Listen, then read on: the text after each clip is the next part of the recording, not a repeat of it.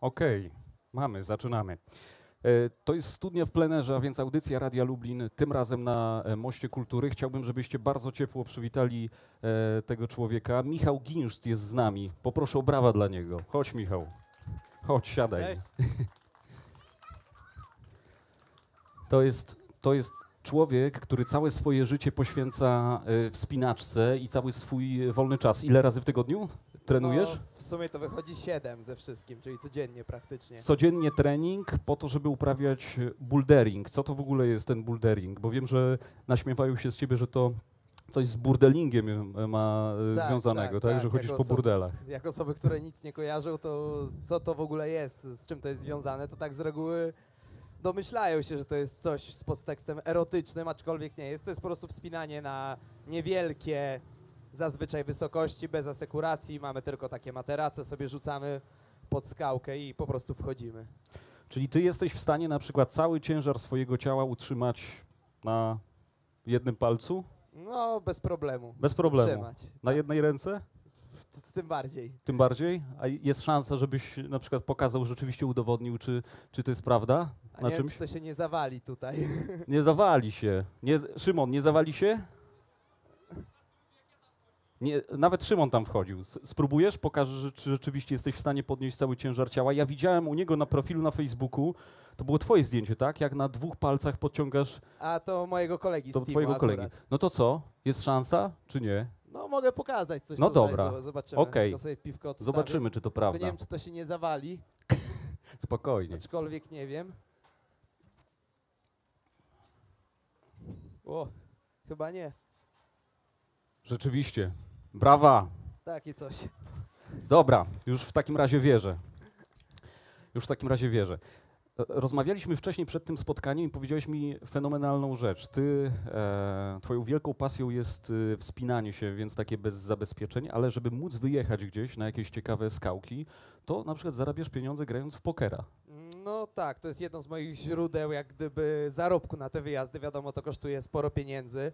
Wyjazdy czy do Afryki, czy do Szwajcarii chociażby teraz jak jedziemy i niestety e, ciężko jest to pogodzić z taką pracą na pełen etat, że miałbym pracować od 8 do 16 i jeszcze pójść później robić 5 godzin treningu. Byłoby to niemożliwe, a w ten sposób powiedzmy, że drobnymi dorabiam sobie grając, bo mogę to w pokera grać wszędzie, gdzie sobie chcę. Pojadę sobie na wyjazd, tam sobie gram, wystarczy mi tylko internet i laptop. Byłeś na przykład na wyjeździe w Afryce, dwumiesięczny, prawda? Tak, tak. I co, kończą się pieniądze, wtedy odpalasz komputer, grasz w pokera i zarabiasz, żeby sobie jeszcze pobyć na przykład miesiąc w Afryce? Znaczy, tak to w? Afryce tak to jeszcze nie działało, Aha. bo jeszcze, jeszcze byłem za słaby jak gdyby w tego pokera, to powiedzmy, że nie starczyłoby na tyle, choć aczkolwiek grałem tam w kasynie w Cape Town, to powiedzmy, że dzięki temu mogłem ostatnie dwa tygodnie żyć w dużo większym luksusie niż, niż do tej pory w tej Afryce. Aczkolwiek teraz to już tak mniej więcej wygląda, że na taki wyjazd można sobie spokojnie na podróż i na zakwaterowanie dorobić grając. I to wcale nie za dużo. No dobra, ile tam w Cape Town wygrałeś w kasynie? Mm, Tam wygrałem jakieś chyba 1000 randów. Y, To, to jest jakieś 500 zł czy 600, nie wiem, za pół godziny gry, więc.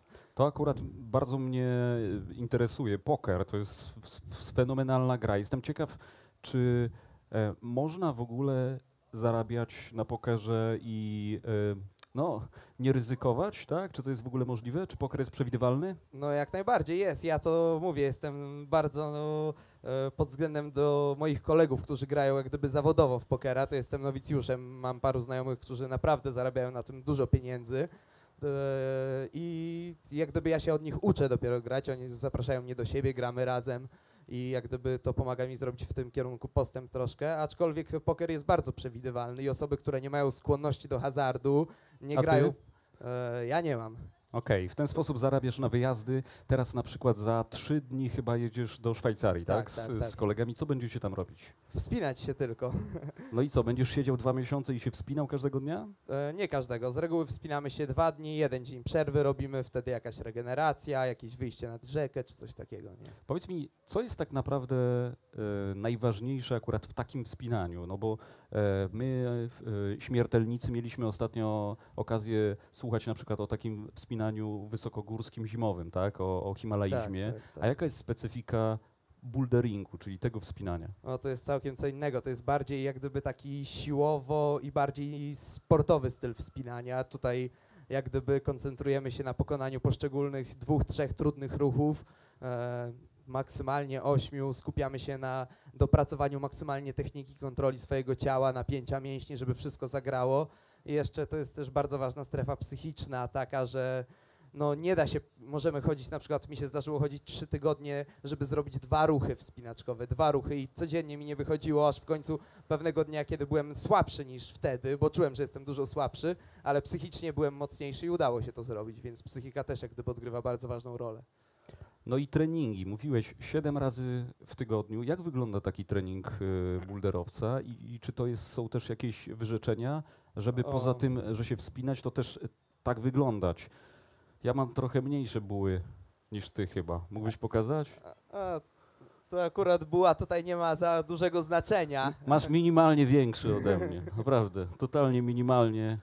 Akurat wielkość mięśni tutaj naprawdę nie ma znaczenia, liczy się ich siła. Ja mam wielu naprawdę znajomych i wielu wspinaczy na najwyższym światowym poziomie, którzy wyglądają, e, no nie wiem, mają mniej mięśni od ciebie. No nie, Serio? Tak się wydaje, aczkolwiek mają te mięśnie bardzo silne, bo to na tym polega, żeby mieć całe ciało maksymalnie nie nabudowane z wielkiej ilości, tylko żeby te mięśnie były jak najbardziej po prostu ergonomiczne, a twoja masa jest jak najbardziej wskazana, bo mało ważysz, możesz na najmniejszym palcu zawisnąć wtedy, jest mniejsze ryzyko kontuzji. Czyli taka pająkowata postura to jest Jak najbardziej. dobry może być wspinacz. Okej, to jeszcze później porozmawiamy o mojej przyszłości akurat w tym sporcie.